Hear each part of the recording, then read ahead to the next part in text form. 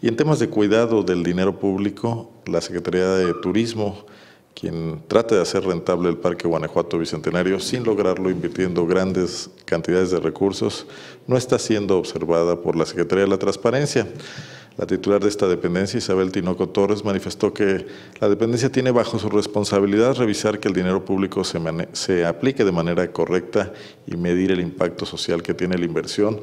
Pero no obstante ello, hasta el momento no han hecho ninguna investigación de los recursos que se gastan en Parque Guanajuato Bicentenario. Para el 2014 el parque tuvo un presupuesto de 50 millones de pesos 70, 70 es la cifra correcta, 70 millones de pesos, no 50,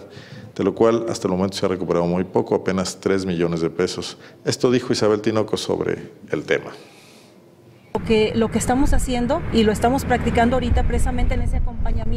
que se tiene que hacer a las dependencias es precisamente revisando que ese dinero, como lo, tú lo mencionas como presupuesto del erario, se esté aplicando de manera correcta. La respuesta concreta es si intervenimos para que, para que midamos el impacto social de inclusive saber si esas exposiciones, haciendo una recomendación, si fueron las idóneas o pudieron dentro de algún plan de trabajo con las metas que tiene la propia dependencia, pudieran ser otras. Bueno, ahí están las cosas.